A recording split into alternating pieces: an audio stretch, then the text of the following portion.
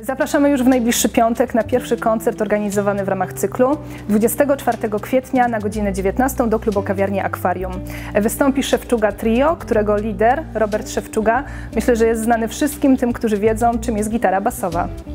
Jest mi niezmiernie miło, że mamy przyjemność rozpocząć cykl y, Muzyka w Akwarium moim koncertem. Zagramy z Piotrkiem Wyleżołem na instrumentach klawiszowych i Krzysztofem Dziedzicem na perkusji. Zaprezentujemy moje kompozycje, będzie energetycznie, będzie groowowo, będzie y, dużo improwizacji, będzie kosmos, będzie cios.